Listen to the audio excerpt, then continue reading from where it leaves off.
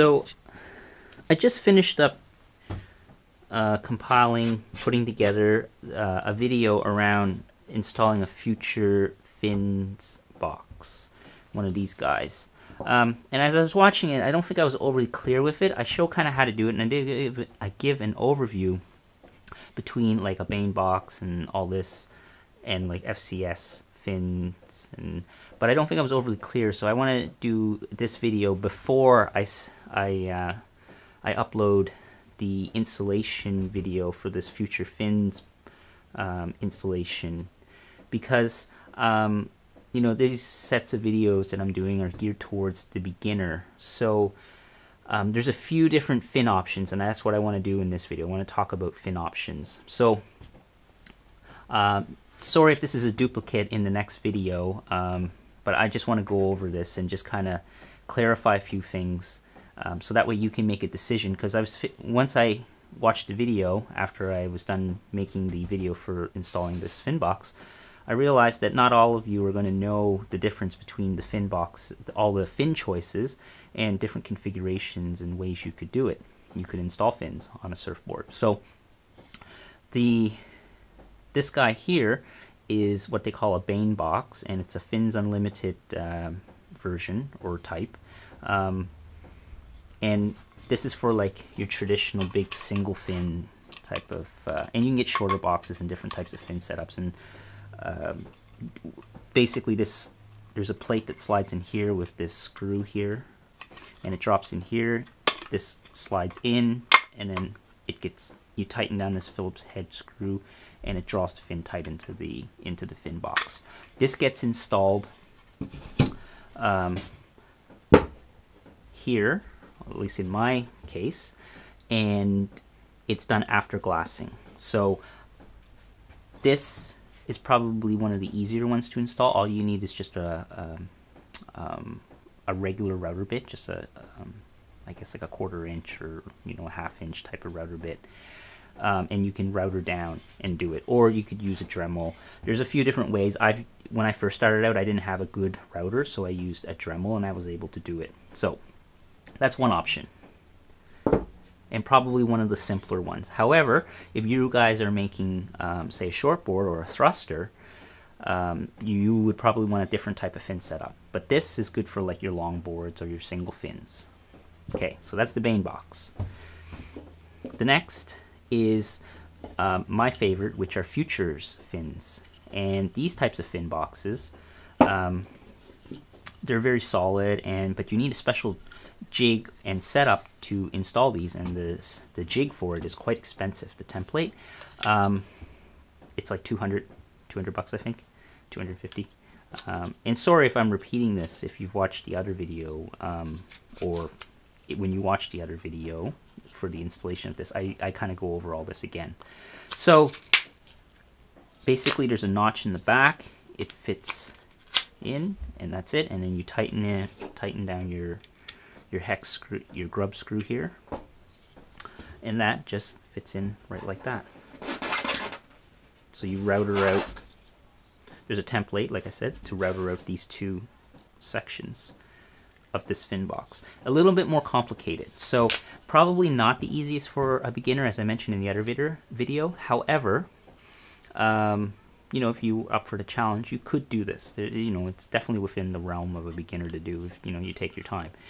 Uh, also, I should mention with the futures system is there's a dip difference in depth of the boxes. There's the two side boxes in the in the rear box. If you for a thruster setup, you notice here it's the rear box is thinner because typically on a thruster or on a shortboard, it's uh, thinner in the back. You know, they're trying to keep the the boards as thin as possible. Um, so that's why that's thin. And that's reflected in the fin setup, in the fins itself too. So as you can see, there's an offset. So if you can see between these two. This one, this is the center fin and it's a little bit um, shallower in the part that seats in the fin box. So that's the futures system. That's the system that I like. And then the other system that I've had a little bit experience with, but not a ton, is the FCS plugs. Um, these are a little bit in, easier to install, and I think the template to install these is cheaper. So this could be an option for a beginner if you're looking for a removable fin system. Um, a couple things I'll mention about these. I have these because I like putting, uh, and I mentioned in the next video, um, a GoPro mount at the front of my boards. So there's a GoPro mount that can be used for the FCS plug, which is kind of nice. This you can just install with uh, a hole a hole saw, um, at least for me. The proper way, I believe, is they drill a hole all the way to one side of the of the board till the glass, and you. I think these are installed after glassing. And what happens is the resin goes all the way through, and it's it soaks into these notches and everything. And as you can imagine, I think the resin goes all the way through, so it gives it a nice strong joint so you cut a hole and the hole in the board is like say all the way through and then I think the resin goes down. Um, maybe someone can correct me if I'm mistaken on that because I've never actually uh, installed one properly with a with a, the proper template. I've just kind of faked my way through by drilling a hole and then put them in, and I haven't had any problems with them. I've never had my GoPro pull out in a in a in a wipeout or anything. So, although fins might be a little different because there's quite a bit of uh, you know lateral force or force being pushed on the fins. So um, the nice thing about the, this system is that you're less likely to do damage on, on, your board when you wipe out or if you hit a rock or something because the fins have been designed to pop out or break because there's just two fin tabs and typically the setup would be like this too and then your fins would have notches and they, they seat in. There is a difference in plugs. There is a center plug, which is straight, and then there's a side plug, and I don't know if you can see it in the video, but which incorporates the cant for the fin, um, which I forgot to mention um, about the future fin system as well, that the center fin is straight, but the the camber or the cant on the fin is actually built right in to the fin and not in the box. Where so if you look, the fin is like kicked in. Um, the future system, on the other hand, your thin your fins are all flat, so they're all like a center fin, if you could imagine, um, with no cant, and the cant is built into the plug.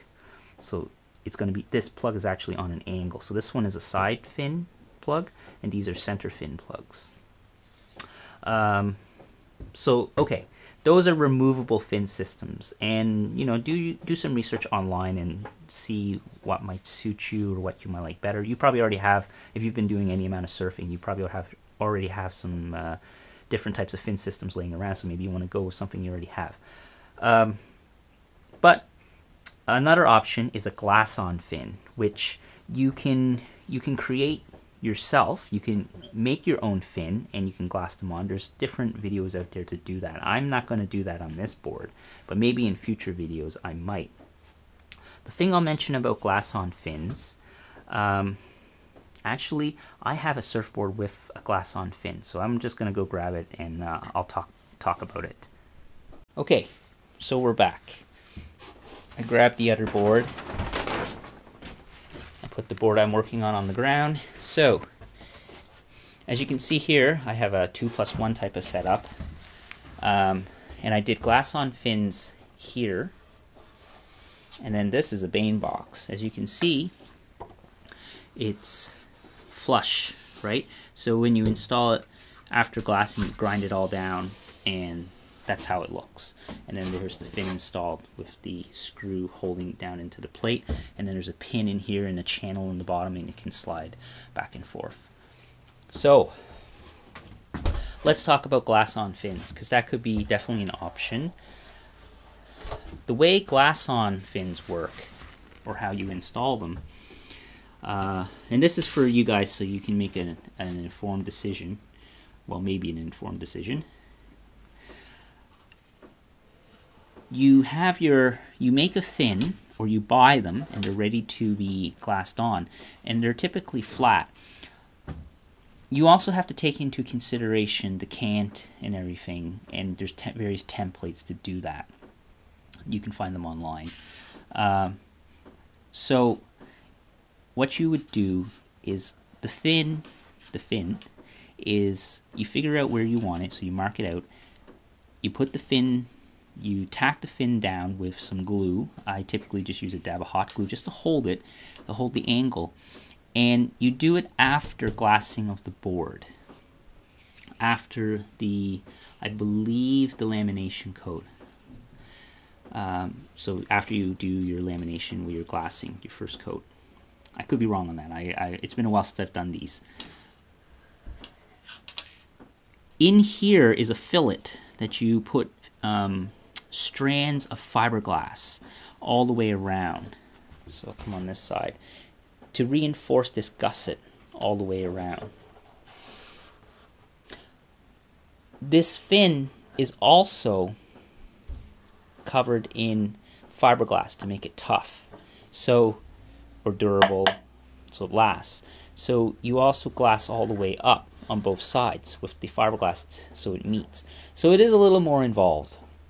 And that fiberglass gets um, taken, um, I should say, feathered out into the board as well. So if you can imagine, fiberglass goes down, let's say this side, and then it goes out like that.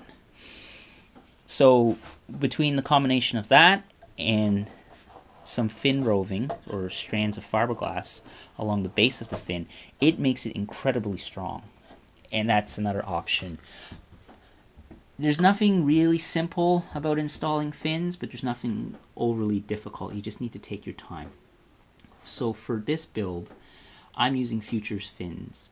Um, maybe in future videos I might do a, how to do a glass on fin, um, but just for this board I won't. Maybe I'll do an additional um, video just specifically for that. Maybe even just on a piece of wood or something, just so so I can show you guys how it's done. Um, but I won't get to that until probably till the board is done. For now, um, you could look up some other videos. Maybe if you do decide to do glass on fins, um, if you're following along as I'm building my board you know, futures is definitely an option. The Bahne box is definitely an option if you're building a longer type of board. I think they do sell shorter fit, shorter Bahne boxes um, for side for like a thruster setup as well. I'm not 100% sure, but uh, that's some that's another option you could look into. So, anyways, hopefully this video wasn't too much of a ramble and it you know helps you guys make a, a an informed decision or at least a decision on um, fin choice if uh, if you are building a board um, it's something you need to keep in mind. Anyways, thanks for watching. Uh, if you have any questions, post them in the comments below, and maybe I'll try to help you out and see if I can uh, provide some advice or at least my opinion. Or head on over to like some of the forums and post over on Swaylocks, and uh, maybe someone over there would be nice enough to uh, help out. They're always been uh, a really excellent resource. Um, okay, thanks for watching.